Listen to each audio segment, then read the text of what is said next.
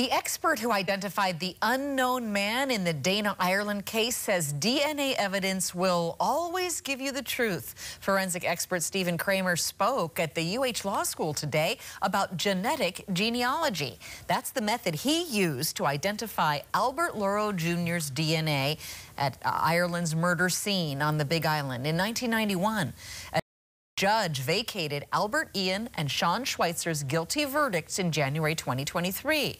After that, the Hawaii Innocence Project hired Kramer to identify Ireland's true attacker.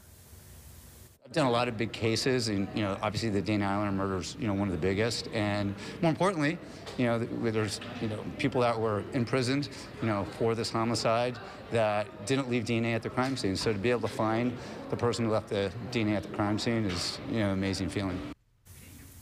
Kramer is also credited with using DNA evidence to identify the Golden State Killer in 2018.